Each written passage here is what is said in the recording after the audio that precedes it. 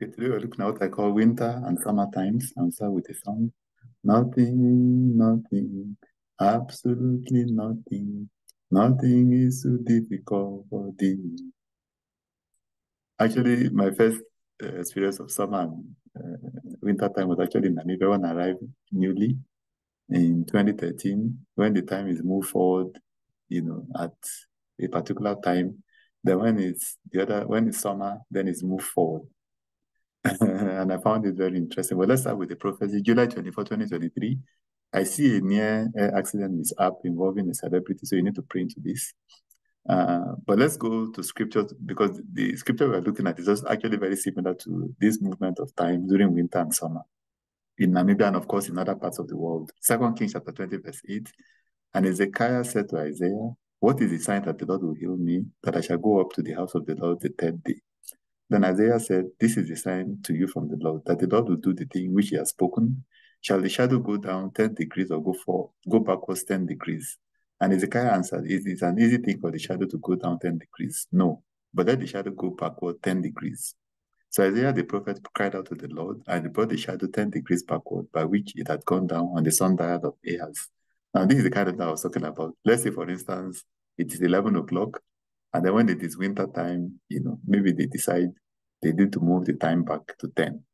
So basically, it's one hour backwards.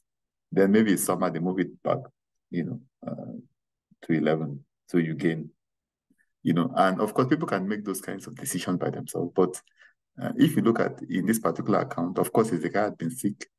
The prophet had come to tell him that he was going to be healed and he wanted a sign. And the sign is very similar to this winter time, summertime, because the, the degrees were moved, you know, uh, backwards. You know, so even if it is governments, you know, or whatever kinds of authorities decide to do that, you know, the fact that you know it was done after, you know, uh, this had been prophesied by Isaiah shows, you know, that God is still the one that reigns over the affairs of men. So if the sign was that the the it will move backwards by one hour, like they do in summer and winter time, or move forward by one hour, and the authority decide to implement it, and it becomes a sign, you know, like in this particular instance, you know, uh, I mean, this is actually what it is that took place. Uh, one doesn't have to go into all kinds of debates about, you know, uh, you know, uh, whether it's divine. Of course, it's divine in the sense that you know, it was actually moved backwards. Maybe the authority decided to do it, but they actually were able to fulfill God's purposes. And I think this is very comforting because sometimes governments think that they have all the power to themselves, they can take decisions all by themselves, but actually what they're doing is carrying out God's counsel and will. And this is very comforting for those of us that are children of God. Nothing happens to us by chance.